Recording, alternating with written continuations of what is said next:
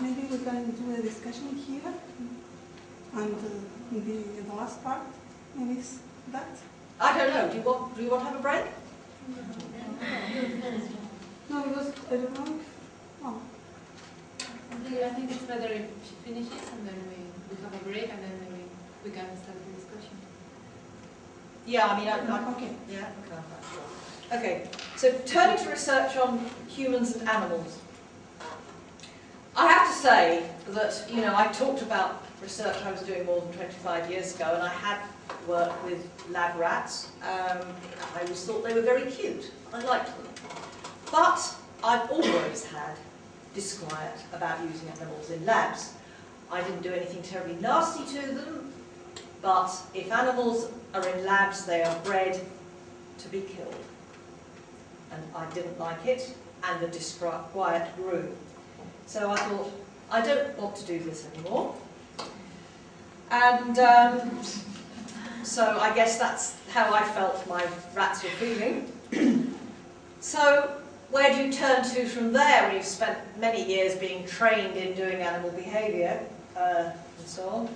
Well, I turned to and have been uh, an instigator in the development of something that's now called human-animal studies. Um, I should perhaps explain a little bit about what human-animal studies is. It's now got its own journals. It is an interdisciplinary area. Um, and so it's trying to look at uh, what animals mean to us, and that could be all kinds of animals, from um, rats in the sewers, to laboratory rats, to the animals I live with in my household, um, to animals in zoos, to wild animals. How we think about them, our attitudes towards them, how we've represented them historically and li in literature, how they impact upon us. So there is a big literature on the benefits of living with animals. If you live with a dog, you're less likely to get heart attacks, for instance. I'm very glad to hear that, because I live with three. Um, so there's now an emerging literature called human-animal studies. Um, and it asks lots of questions. There are many things that we could ask about how we think about um, animals in general. What assumptions do we make? Now, my partner is a native Spanish speaker and she said this will work, so I hope it does. Um, I love this cartoon. She's pinned it on her wall. Um, Math, these are obviously North American scientists. Matthews were getting another one of those strange habla español sounds. and the very fact that they can think it's funny, that, they, that it's weird, strange, is because they simply can't conceive of the notion that dolphins could speak human language. We may yet be surprised. Now, I've talked about, we talk about human-animal studies. Um, the word animals in English, or indeed in Spanish, are traditionally in nature. So this is problematic already because that means that if you talk about studying animals, you're likely to think that the person who's doing it is a biologist.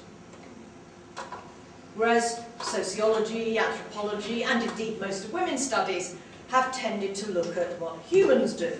So there is a disciplinary divide in the first place. Animals traditionally in nature. And of course they're opposed to human. I've just talked about human-animal studies. I've been part of setting it up. But that's a problem, isn't it? Humans and animals, as though we're not. That's a problem we are. And of course there are issues about how we understand this animals. Which animals do we mean? What's interesting about humans and other animals is that it's a generic animal there. It means all animals. And it does not differentiate between different kinds. And that for me as a feminist, who's, you know, feminists are quite used to thinking spending a lot of time thinking about how difference is created, and we go and use animals as a generic, that's a problem. And of course then, what animal behaviour? And if you, I'm not just thinking that this is something that doesn't ever get into the femi feminist literature, because the slipperiness of the word animal does indeed get into the fe recent feminist literature. Um, Dora's already seen this one. Um, this was a, a, quote from a recent piece of work by Rosi Braidotti, who's a very well-known um, feminist philosopher. And in, in it she writes, the strength of animals, notice it's a generic animals, is that they are immanent in their territories and environmentally bound. Insects and animals mark their territory acoustically, olfactorily, by their own assigned system. Now, I've got lots of problems with that. First of all, insects are, animals. Second, humans are animals. And as for animals and not humans being immanent in their territories, well, I'll turn to Gary Larson to comment on that. um, the point about using that Braidotti quote, though, is that, it, you know, feminists and lots of people who are writing in the social sciences do still make recourse to a notion of animals as being simply nothing else but instinct. They have no culture. Now there's lots of evidence that from a number of different species of animals that they do have culture. We just aren't very good at finding it yet. We're not very good at speaking horse, dog, wolf, zebra, whatever.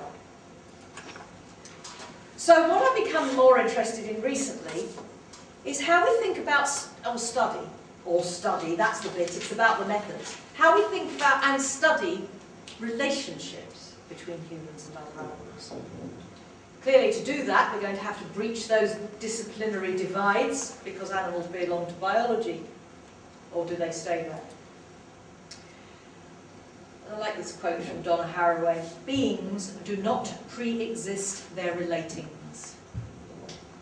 She uses the word relatings to mean rather more than relationships. I might have a relationship with the dogs we live with, um, but those relationships are also embedded in a, a huge set of cultural networks um, the particular kinds of dogs we live with have histories, which are histories within particular kinds of culture.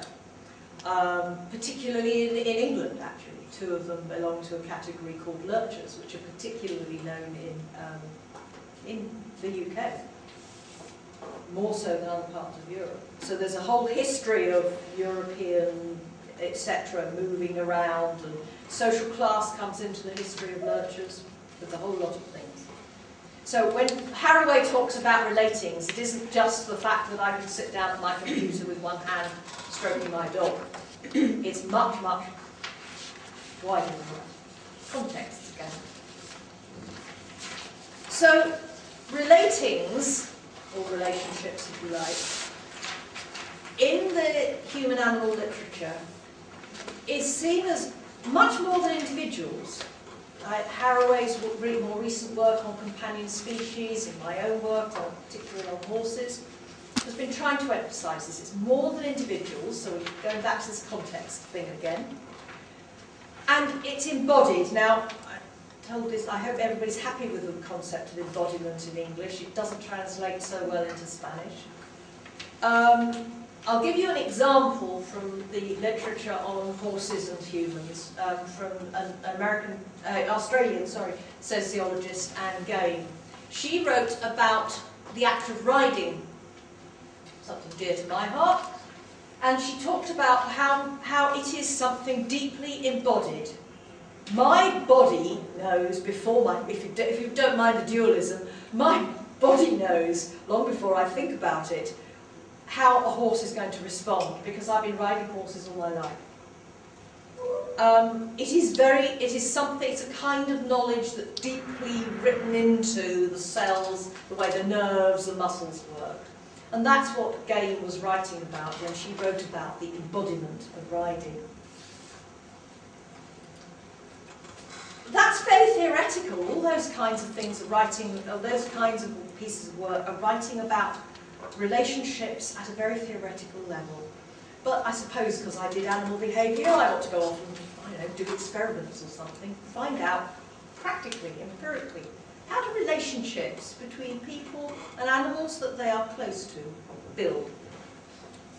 Well, you know, I, I'm stubborn or difficult or stupid or I guess I'm a feminist. Um, I have to go and do something that's very difficult. It isn't easy. To begin with, I was looking at these two things. Well, horses' welfare, that's basically what you do in biology. So I've been looking at horses' responses and what, how, you know, what, how horses are best served in particular situations. If people approach them in particular ways, how do horses respond? I'm back to being my uh, animal behaviour scientist self. I also did some research on people's understandings of horses and the horse cultures they were in. But you can see already that I'm being, partly I'm being the scientist and partly I'm being the sociologist of science. I'm using two different methodologies. And they're not the same project. Oh, that's difficult, isn't it?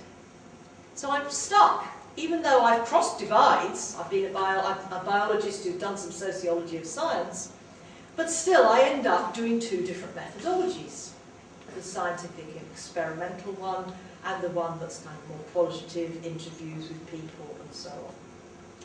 Oh dear. So how do we find ways very bad one? And in this case, it's certainly not benefiting the horse. Now, this idea of thinking about quality borrows from the work of a, a Dutch ethologist whose work I much admire.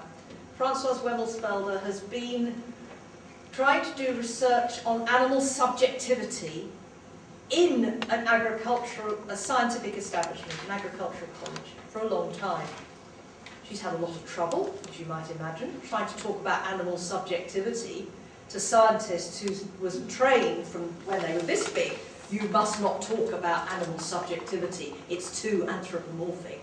But she has done it. And what's interesting, I, I, I really love Francois's work, what's interesting about it is that she recognised that we can all go around saying, you can talk about dogs, if you keep dogs, or the cats, there's lots of cats around this campus.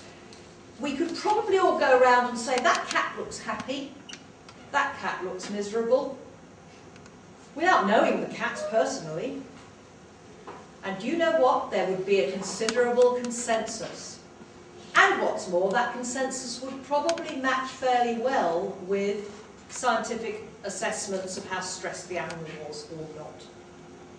So what she's been developing is methods to look at this quality that we can't pin down quite so easily. But it is a quality that we know about in other animals. We can say and agree with each other there is something there, that animal is happy. And she, she got people to look at pictures of pigs pigs on farms. And, and these were people who didn't know pigs, but they could mostly agree on a personality profile for that pig. There was a consensus. And she, she's used this as a means of working around, working towards thinking about animal subjectivity. We can make some assessments about animal subjectivity, contrary to what I was told as a young student. And she agrees with me, but it, she hasn't done it herself yet, that it ought to be possible to extend this idea of making this kind of overall qualitative assessment of a relationship. Now, people, psychologists do this who are looking at human mother-infant interactions. You can assess the overall quality and say that that is a mother-infant interaction which is well enmeshed. The mother is very good at predicting and working with the behaviour of her offspring. So there are precedents, and this is what we're trying at the minute to develop. So that's what I'm trying to do right now, and I'm just going to sum up now in this last bit. What we need to do is to find ways, speaking as a feminist, I want to find ways of exploring methodologically, not only theoretically, how to explore how animals develop in their contexts, how they are established in networks of relatings. And what are the qualities of the relationships of ours and theirs? And I want to try to combine, this is where I'm either stupid or very brave or something, to combine the very different methods of the natural and social sciences. I think I could probably only get away with saying I want to do that because I'm now sufficiently old that it doesn't really matter anymore. I'm not doing this for a PhD. If I was, it would be foolhardy. But I'm, I'm old, it doesn't matter anymore. I'm going to try. And if anybody has some ideas about how we can cross those divides and think about how we can study animals and study people at the same time, I really want to hear it, okay? But of course, this means developing new methodologies, and the dilemmas remain. How can we study the embodiments that feminists have written so much about? Anne Game talked about it in The Act of Riding. There's been a little bit of work. Uh, Elizabeth Wilson has drawn upon, uh, done feminist analysis drawing on psychoanalysis to talk about um, embodiment and how that can, how uh, expectations of what's going to happen can change your physiology. We need to do more with that, but it's not something that is well studied empirically. And I don't want to do just only theoretical things. I do want to do some experimental work, some empirical work, find some things out. And how do we move beyond the verbal? Because, of course, I've glossed over it, but if we're doing interviews, a standard for, for a great many sociological studies, we sit and we talk to the person. We may also observe them in an ethnography, but we spend a lot of time in interviewing people. How can you interview a being whose language you do, you do not and cannot speak? I could make a better effort to learn Castellano or do better at learning it. Um, but I'm really absolute rubbish at learning dog or horse or even though I spent a lifetime with them. And more importantly, perhaps, how do we bring together existing methodologies? It is very difficult.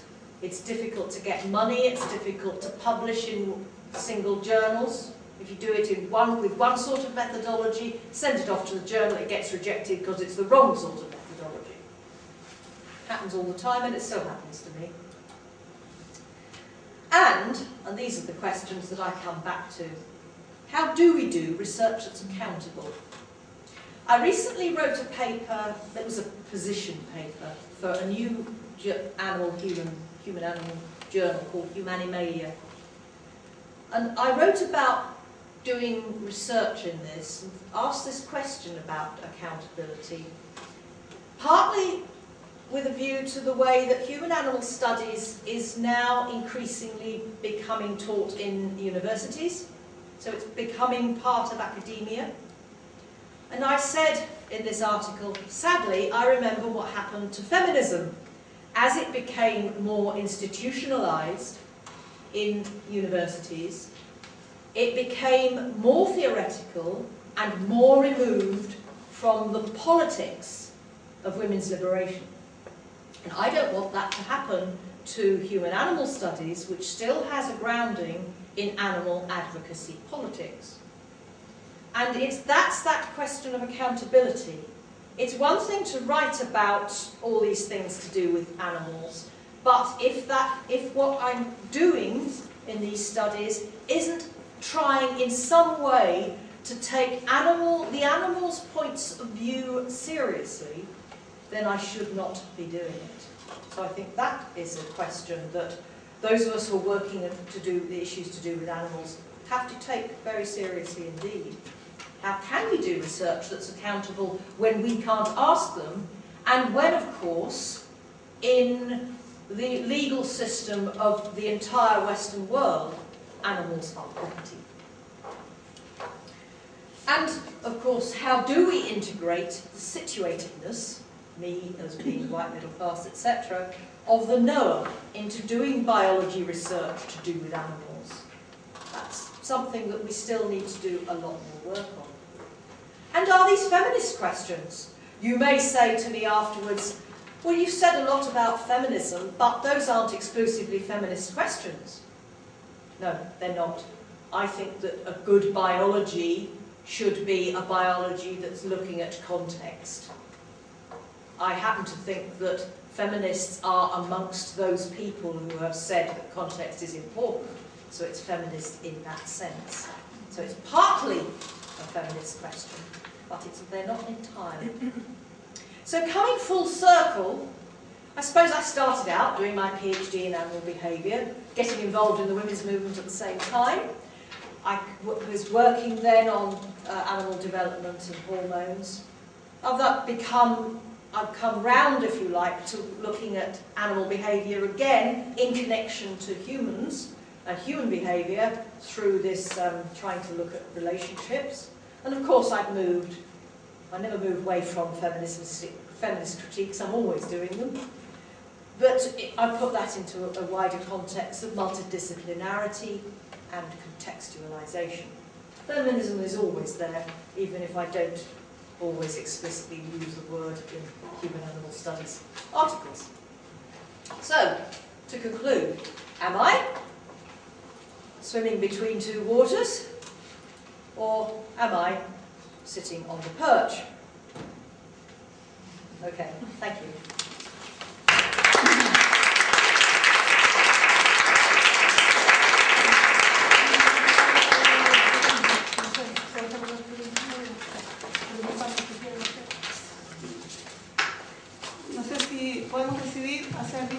Pausa y volver con las preguntas o dejar plantear las preguntas y volver al debate. Como queráis. ¿Cuánta gente necesita ir al baño? Come down here, it's not, you know, we can't do the feminist circles, I'll have to come down, don't like the perch on here.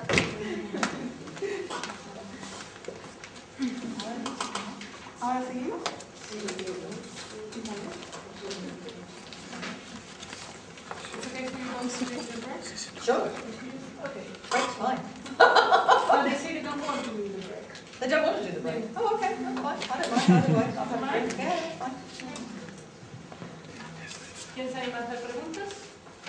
For me, all those things are quite um, new, and I have um, read some uh, kind of human-animal studies by the book of Don Haraway, uh, talking about dogs and people insignificant otherness.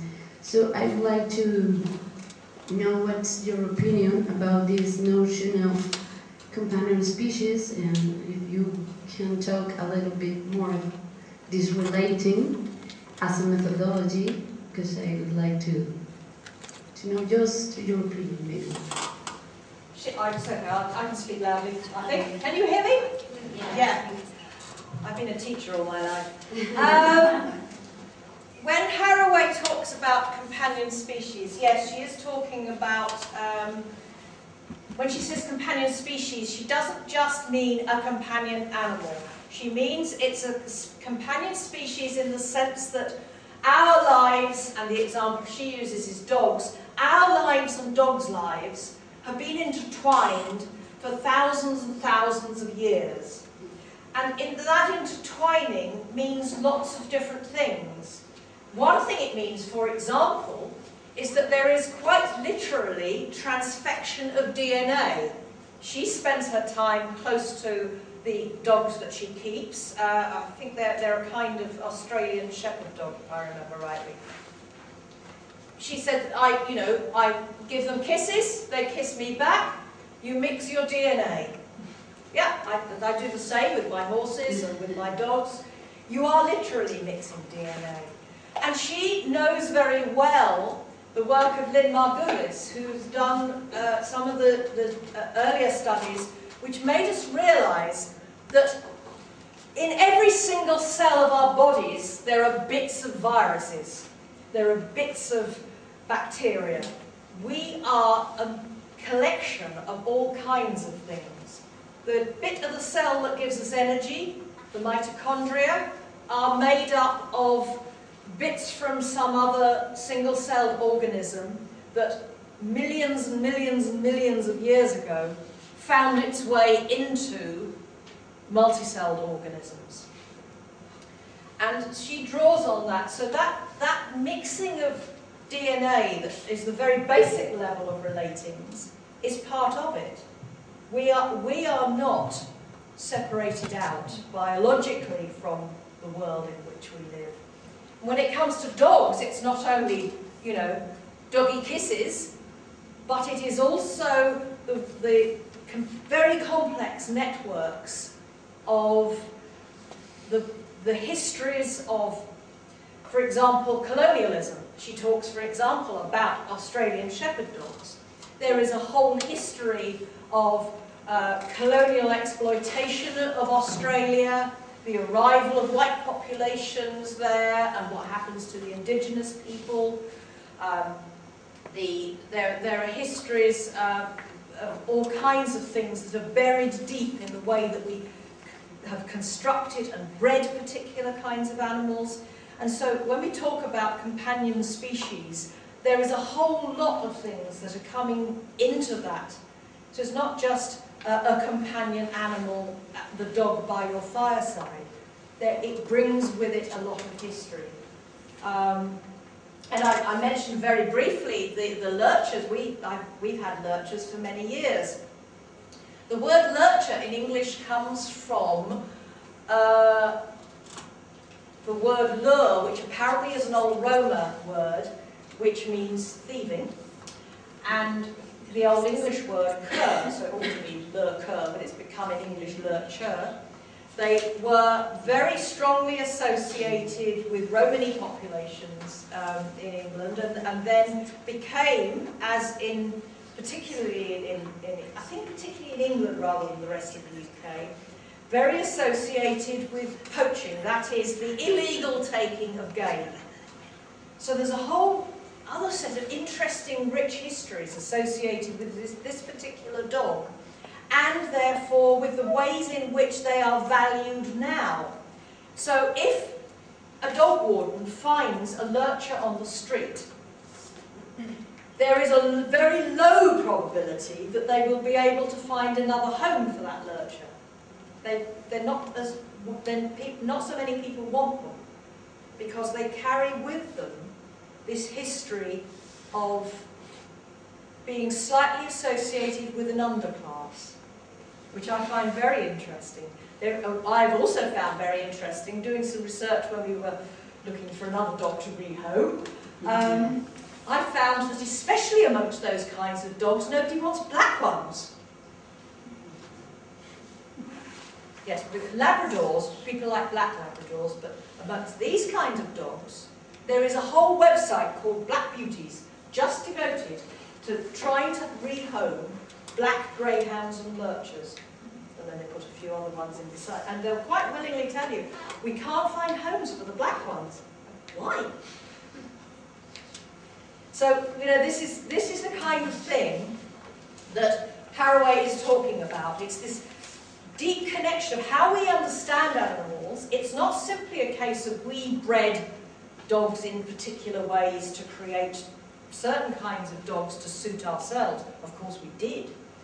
Um, we've certainly bred, um, take horses for example, the, the thoroughbred, the racehorse, was bred for the aristocracy um, out of particular very fast horses in about the 17th, 17th to 18th century. They became highly associated with the aristocracy in England, certainly, um, and and that you can see how it traces through into the way that it's called the, the sport of kings racing in English now.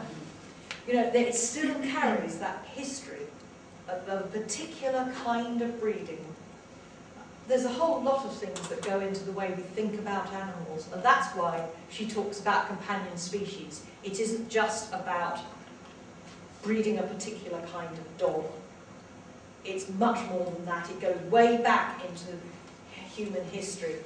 And of course, it also, the other idea which I should mention uh, that comes into the way she discusses it, is that um, we don't know who domesticated who. It is not case, several other people have said this, but Haraway picks up on it, it is not a case that humans suddenly thought, oh, there's a wolf pup, I'll try and get it to come down to our fireside, the wolf pup was probably there first. Who domesticated whom over time, we cannot tell. It takes something for wolves to come into human groupings in the first place. They almost brought themselves in as far as we can tell from archaeological evidence. So there's a whole lot of things that are embedded in there. So what she's trying to say by the idea of relating in companion species is that we mustn't forget that deeply entwined um, embeddedness, really, with each other's lives and histories.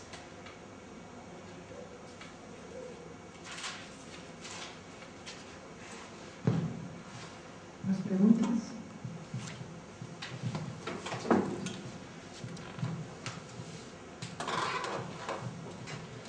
Thank you for your speech.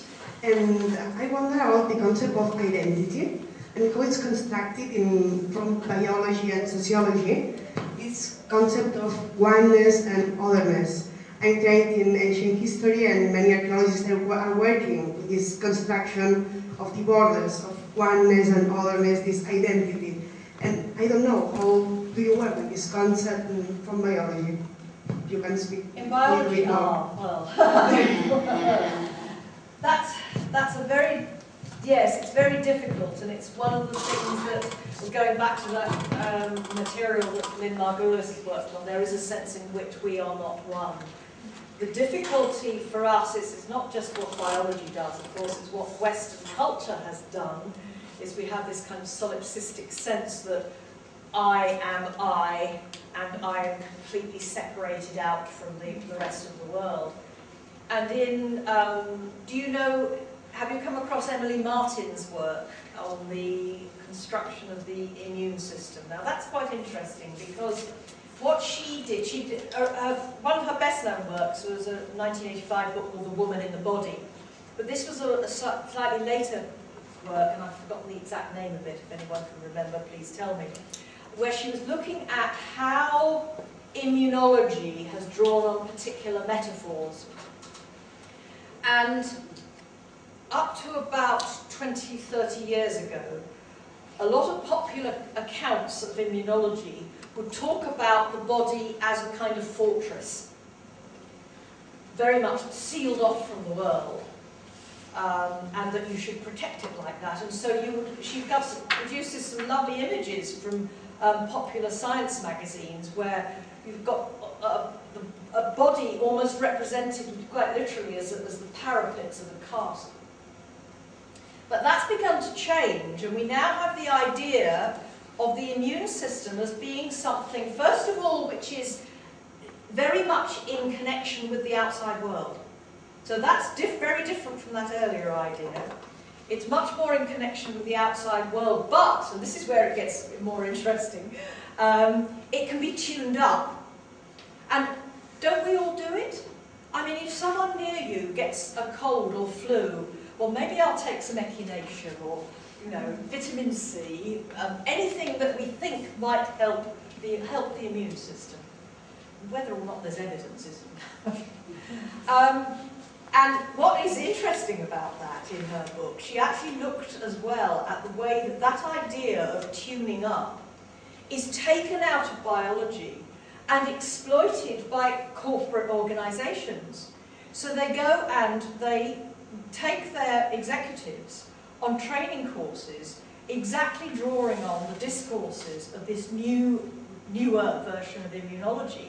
And they're using exactly the same words to tune up your executives so that they can cope better with stress.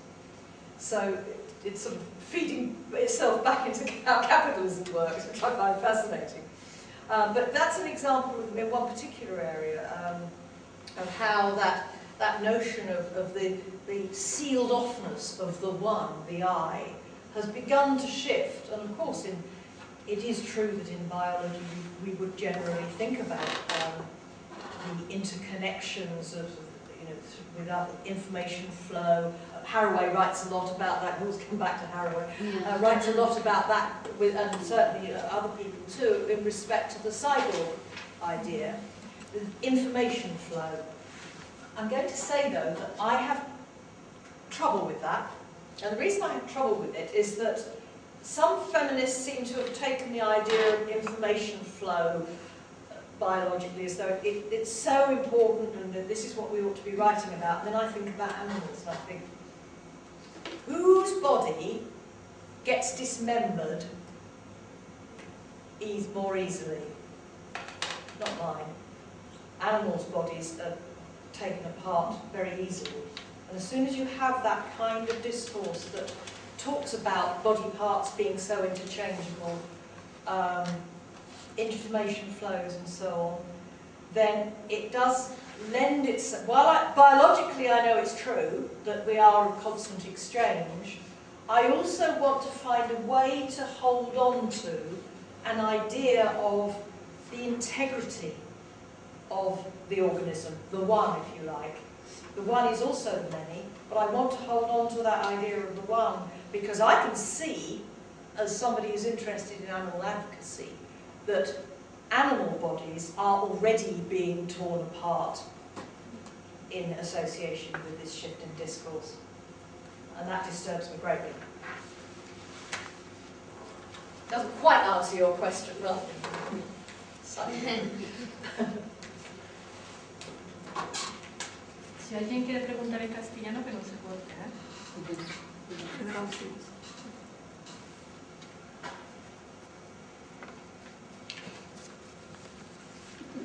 Oh God, get in trouble. That's my partner.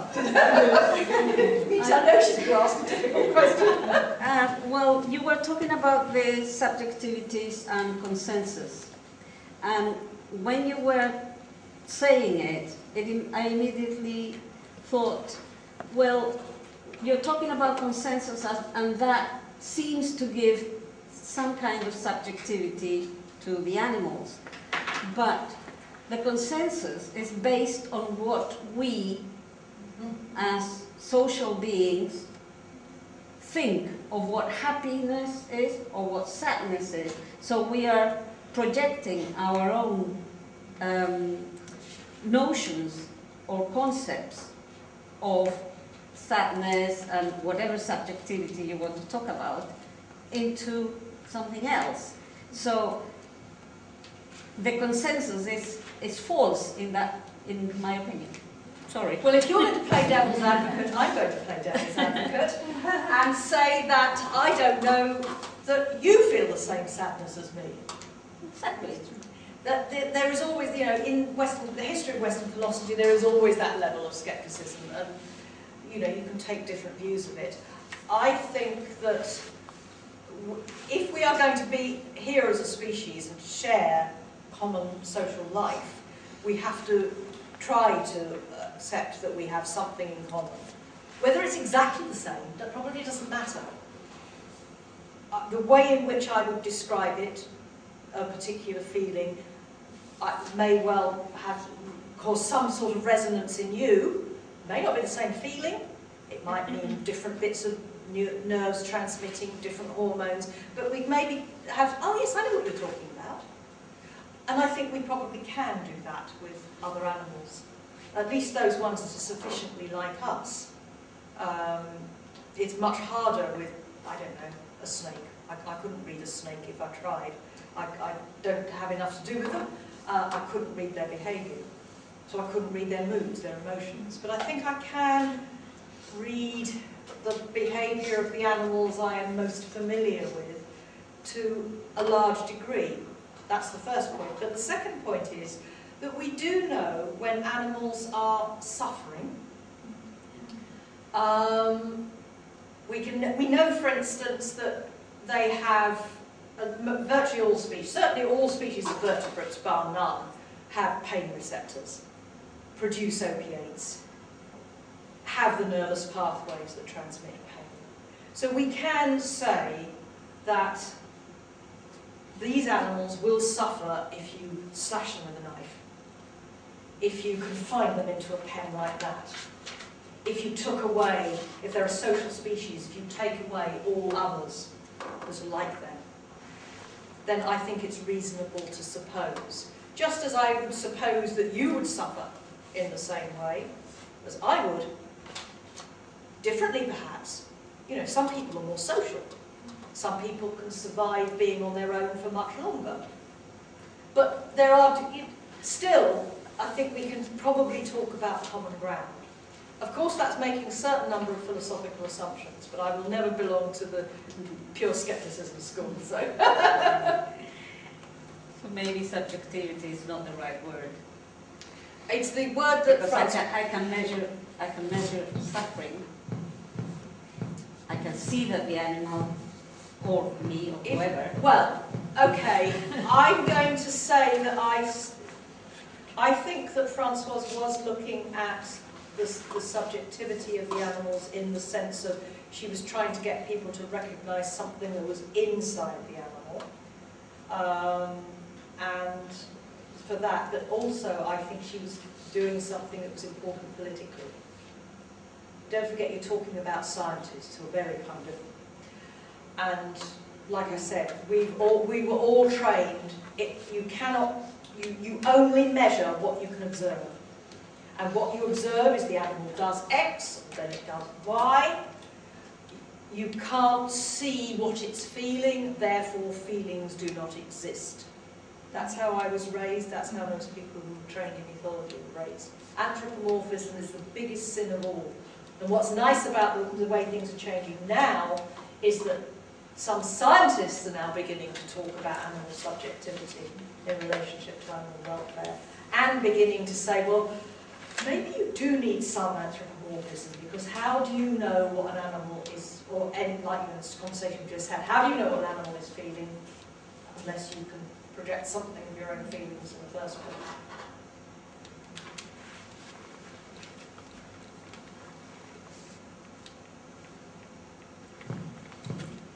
Uh, I think I also think that anyway I understand your your discourse now, but I think that for example the example of the pig, the people didn't know the pig before was much more a projection. That's quite different if you analyze, for example, uh, the cat or the dog that you know them and Yeah. you know how they work and you know their reactions, so you can understand something. Yeah. So okay, the, the, the feeling cannot be exactly the same, but like with other people.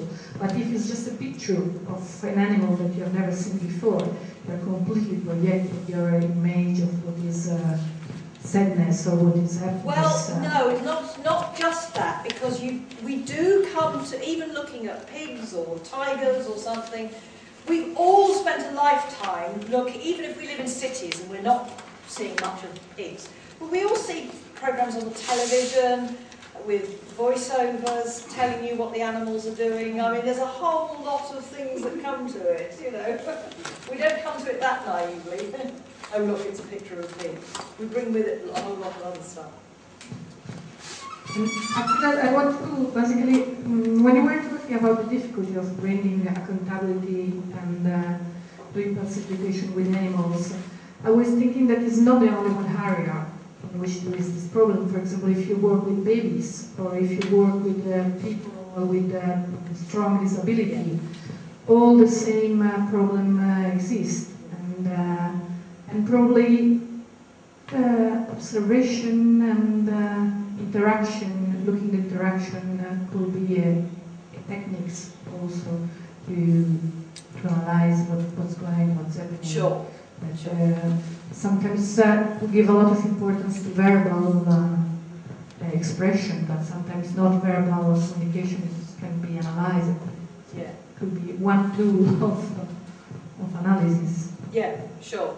I, you know, I put a lot of emphasis on that because it has been emphasised so much in feminist literature, but I think it's difficult. That there are some situations in which it's extremely difficult to really be accountable.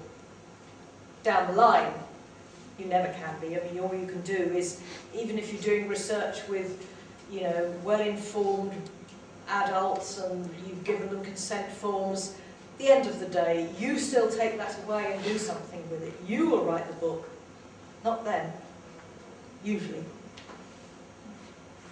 Um, I thought that's a really interesting question from your partner. So I would like to. so I have to. Oh, it's on now. Um, let me see if I can um, get the question together. What I was actually wondering uh, with this example, for example, if animals can feel pain and also if we are only interpreting uh, what an animal is feeling when we, for example, work with uh, an animal. And, you know, I mean, like, first of all, we have experiences with animals where I feel as if I share something with the animal and that I can, according to that sharing, um, say something about what kind of relationship we are uh, actually building up together.